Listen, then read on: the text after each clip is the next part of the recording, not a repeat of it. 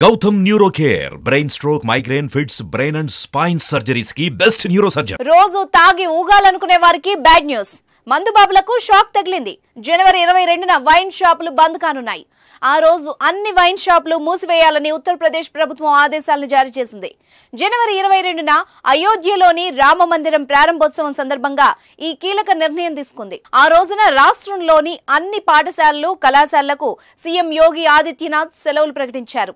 ఇరవై రెండున మధ్యాహ్నం పన్నెండు గంటల ఇరవై నిమిషాలకు అయోధ్య రామ మందిరంలోని గర్భగుడిలో సీత ఆంజనేయ లక్ష్మణ సమేత శ్రీరాముడు కొలువుదీరనున్నాడు ప్రాణ ప్రతిష్ఠ వేడుకకు సంబంధించిన వైదిక ఆచారాలు జనవరి పదహారు నుంచి ప్రారంభం కానున్నాయి.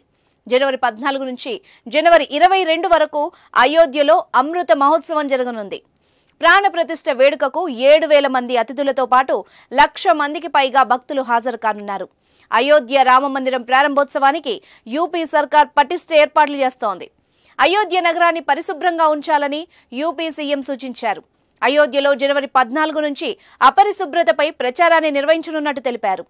ఈ నెల ఇరవై రెండున అన్ని ప్రభుత్వ భవనాలను అలంకరించడంతో పాటు బాణాసంచా కాల్చి వేడుకలు జరుపుకోవాలని కోరారు.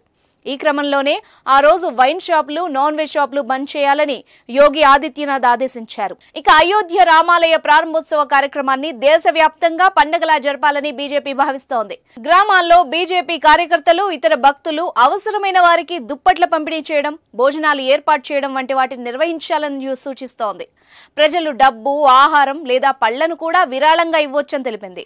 రామాలయ ప్రారంభోత్సవ కార్యక్రమాన్ని దేశవ్యాప్తంగా ప్రత్యక్ష ప్రసారం చేసేందుకు కూడా ఏర్పాట్లు జరుగుతున్నాయి.